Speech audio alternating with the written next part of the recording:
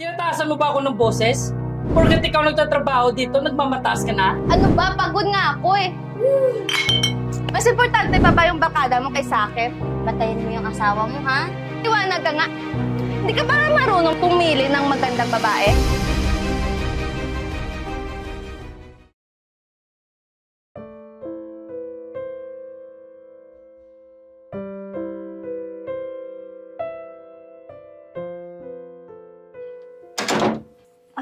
Sakit ng katawan ko, nakakapagod sa trabaho.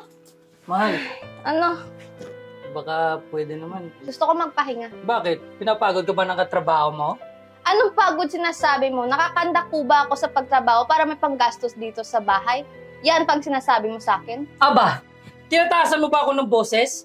Porket ikaw nagtatrabaho dito, nagmamataas ka na? Ano ba? Pagod nga ako eh. Umupo ka nga dito. Ano ka ba? Hindi pa ako tapos. Alam mo, ikaw babae ka. Minsan lang ako nagpapalambing sa'yo, hindi mo pa ako pagbibigyan. Paano ba? Tama na. Wala kang karapatan. Ako ang hari sa pamamahay na to.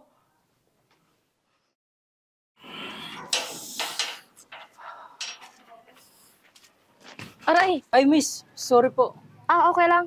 Ah, anong pangalan mo? Ah, I'm Kat. Um, saan ka nakatira? Ah, doon lang oh. Sa Ah. kabila. Hatid na kita? Ah, sige. Okay lang ba sa'yo?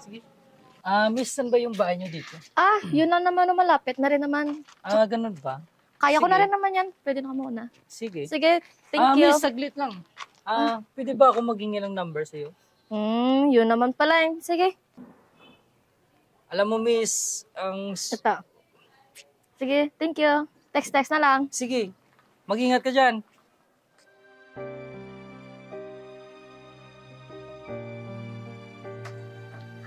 Ay, nako, nakakapagod.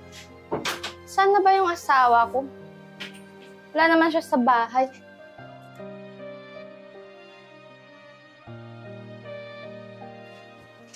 Oh, Mahal, saan ka punta? Ah, ay ano, may pupuntahan lang ako na importante. Ah, sige, mag-ingat ka. Okay.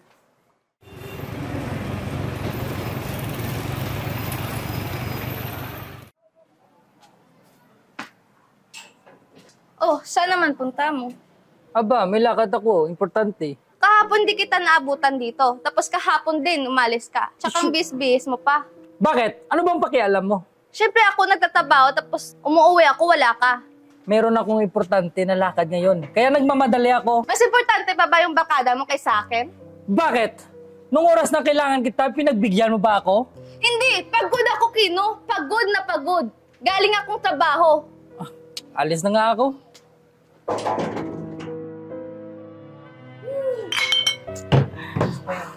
Alam mo, babe, ah dahil sa iyo nawawala yung mga problema ko. Balik nga. Ano ba, babe? Nakakaya sa kanila, oh. Pero Sino? mamaya. Uy, narinig yun, pare. Hi, Keno.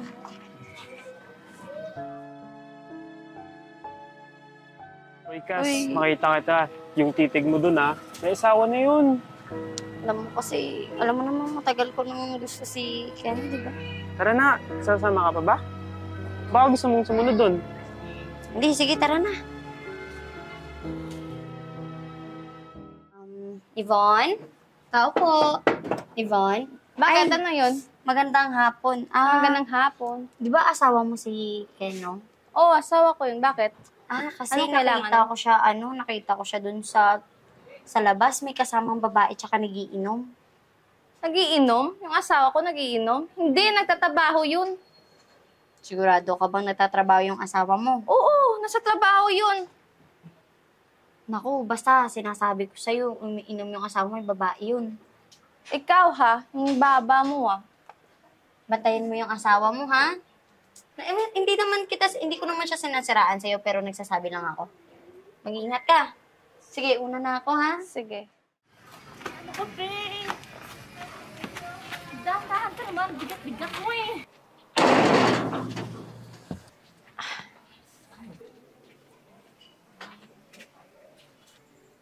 Ah, babe, kailan muli tayo magkikita? Hmm, baka bukas or sa susunod na araw? Ah, sige. Hmm, sige na, babe. Una na ako, babe. Oo. Babe! Saan ka galing? Ah, Sino yan? ah, Kanina pa ako ko. nag-aantay dito eh. Teka nga lang, sino ba to?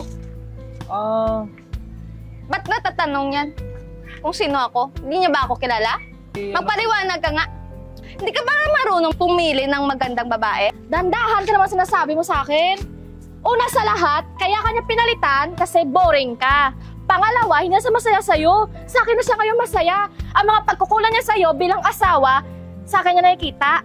Walang hiya mo ah. Tama na yan. Hoy, ikaw! Umalis ka na!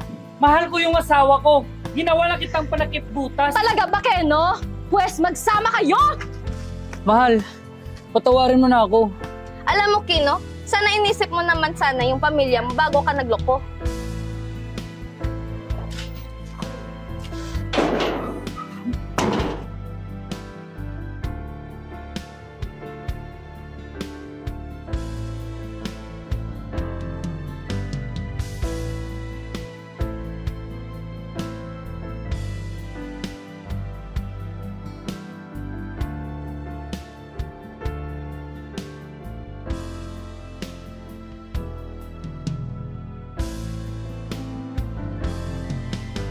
Nasaan na yun?